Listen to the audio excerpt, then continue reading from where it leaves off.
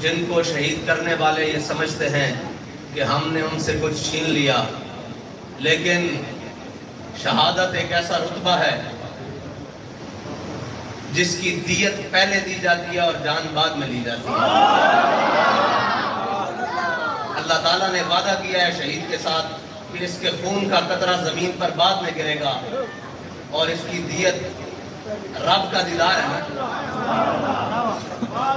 इस कायनात में सबसे कीमती चीज़ हमारे रब का दीदार है। तो वो दीदार कि जिसके बारे में मेरे आका मौला सल्लल्लाहु अलैहि वसल्लम ने फरमाया, मैंने सबके एहसान उतार दिए, सिद्दीक का एहसान बाकी है। और क़यामत वाले दिन अल्लाह अव्वलीन व आखिरीन को जमा करेगा और सबको जब जमा फरमाएगा और सबको दीदार करवाएगा। जब सब दीदार कर लेंगे, फिर सबको भेज देगा, फिर सिद्दीक को अकेले बुलाएगा।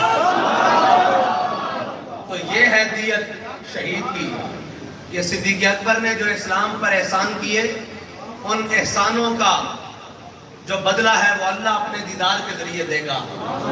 लेकिन जो शहीद होता है, रब फरमाता है, तेरा खून का कतरा ज़मीन पर बाद में गिरेगा इसकी दियत मैं अपने दीदार की सूरत में पहले अदा करूँगा। ये है शहीद और शहीद की कदर मंजिलत तो वैसे ही बड़ी है और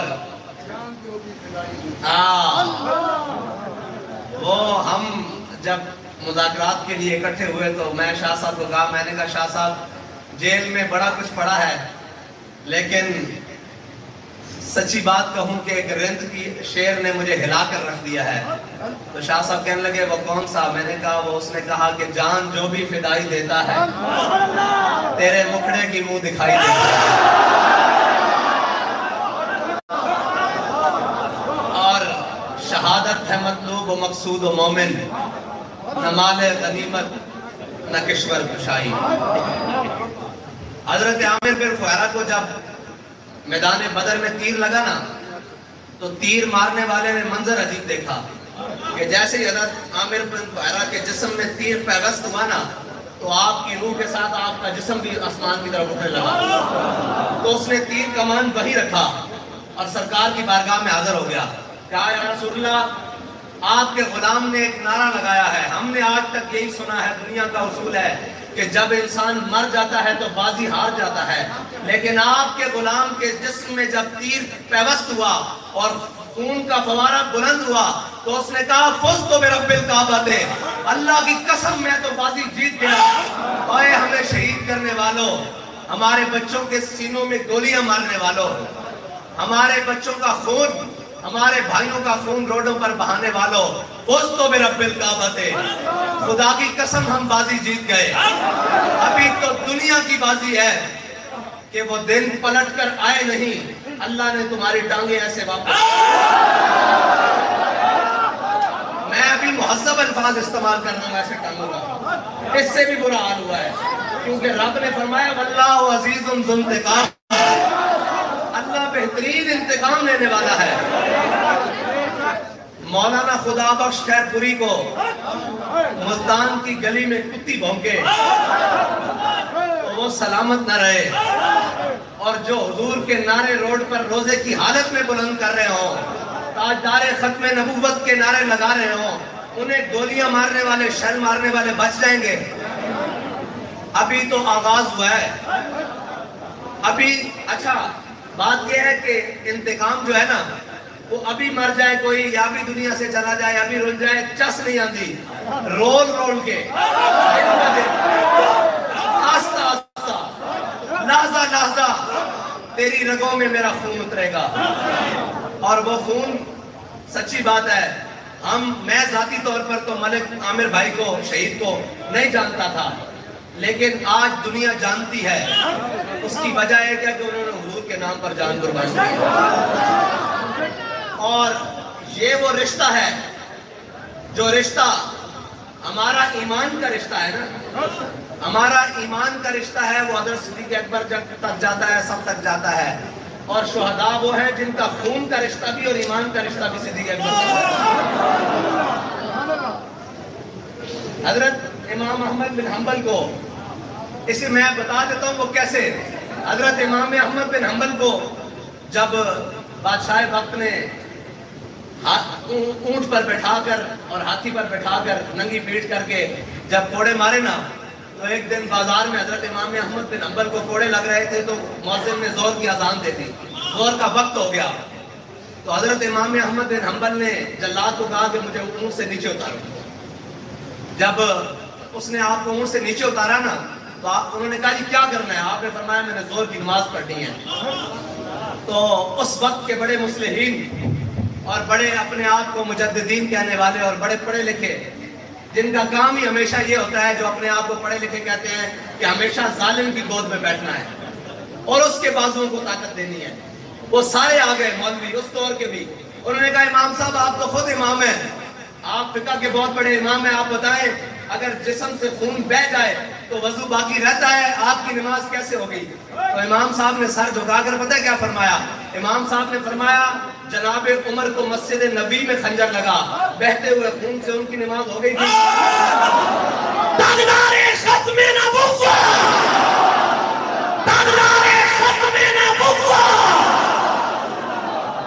आपने फरमाया कुफा की मस्जिद में जनाब मौला कायनात को खंजर लगा और बहते हुए खून से आपने नमाज़ मुकम्मल की। अगर उनकी नमाज़ मुकम्मल हो जाएगी तो अहमद बिन हम्बल की भी मुकम्मल हो जाएगी। इसलिए मैंने कहा कि जिनका खून भी मिलता है और हमारे शहीद, जिनके खून ने तहरीक नब्बैक पाकिस्तान को बाम उरूज दिया है। और हमसे लोग ये कहते हैं कि आप किसी के साथ मिल जाएँ। मैंने कहा, नहीं, हम जबानी कलामी खर्च को तो हम मानते ही नहीं। हम मानते ही नहीं। और वो जो ये कहते हैं कि हम नामों से रिसालत के ऊपर बात करने वाले हैं, मैंने कहा, बाबा जी, फरमाते सर, गला ना कुछ नहीं होता। इतने करके दिखाना पैदा और बड़े बदनसीब जो करार तक न पहुँचे बड़े बदनसीब जो करार तक न पहुँचे दरे यार तक तो पहुँचे नहीं पड़ी आज हर चीज़ ने मुँह फेर लिया हमने कहा था पहले ही कि मेरे हाथ में था जब तक मेरे मुस्तफ़ा का दामन।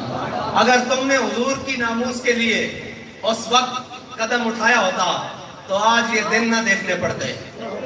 आज ये हालात ना देखने पड़ते। आज ये ना कहना पड़ता कि खत आया है, उस खत ने मेरी हुकूमत गिरा दिया मैंने कहा कभी खत की हुकूमतें गिराते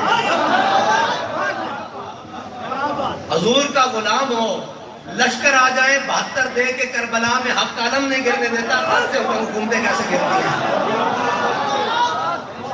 और भाई, हम बदर में तीन सौ तेरह हो, आठ तलवारें हों दो घोड़े हो, हम हक का अलम नहीं नीचे आने देते, तुम्हारी हुकूमत गिर गई है।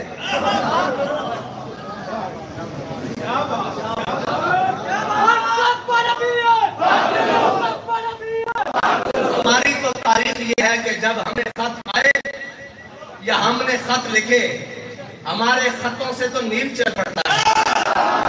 और अगर हमें खत आ जाए तो हम ये नहीं कहते कि मैं उसको दिखाऊँगा भी नहीं मैं उसको दिखाऊँगा भी नहीं, वो बहुत बड़ी ज़िम्मेदारी है मुझ पर। बल्कि हज़रत यूसुफ बिन ताशमीन को जब खत आया तो आपने अपने मुशीर से कहा, इसका जवाब लिखो। तो उन्होंने बड़ा दो तीन सफों का लंबा जवाब लिखा के उसने अल्फांसू ने खत में लिखा था कि अगर आसमान के फरिश्ते भी तुम्हारी नुसरत को उधर आए, तुम्हारी मदद को उधर आए तो मैं तुम्हें शिकस्त दे दूँगा। तुम्हारी बचत नहीं होगी। तुम्हारा मैं कीमा करके रख दूँगा। तुम्हें मैं दो पहाड़ों के पार्ट में पीस कर रख दूँगा। तो हज़रत यूसुफ बिन ताशमीन ने अपने मुशीर से कहा कि इस इन फजूल बातों का जवाब तुम दे दो। लेकिन बात यह है कि जब तक कायद खुद उतर कर उस मसले की हसासियत को नहीं समझता, कौम को समझ नहीं आती।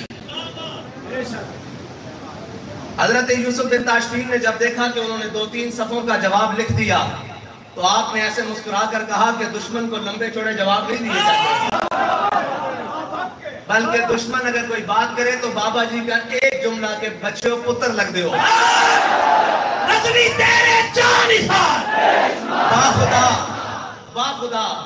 जब सारे जुल्म इन्होंने कर लिए ना सारे जुल्म और जब बताया गया कि हमारे दर्जनों शहीद हो चुके हैं और जना जो इनका बस चलता था वो उन्होंने कर लिया। उसके बाद मुझे मुस्कुराती हुई बाबा जी की एक तस्वीर जेल में अक्स बनता था आँखों के सामने। कि बच्चों पुत्र लग गए। अजय मैदान लगना और यकीन जाने इस जुमले ने जितनी तसल्ली दी, शायद किसी बात ने तसल्ली नहीं दी। कि तुम जो मर्ज़ी कर लो, जो चाहो सितम कर लो, और भी खुल खेलो, पर हमसे कसम ले लो की हो जो शिकायत उसकी एक वजह है, शिकायत हुई क्यों नहीं? दस दिन बाद, आठ दिन बाद, छह दिन बाद, महीना, ये आखिरी दिन होने एक और भी मुजाहिद नाम से सारे बन के अंदर आया सी 10 घंटे नहीं कटे। बिल्कुल कंद ना कंद सी चीखण की रोण की आवाज़ आवे। तो इसकी वजह है नहीं कि साढ़े अंदर कोई कमाल है। असि कहने जो चाहो सितम कर लो और बिल्कुल खेलो पर हमसे कसम ले लो, की हो जो शिकार ये अगली गल है कि शाहों के तकबर से भी दब कर न रहा मैं।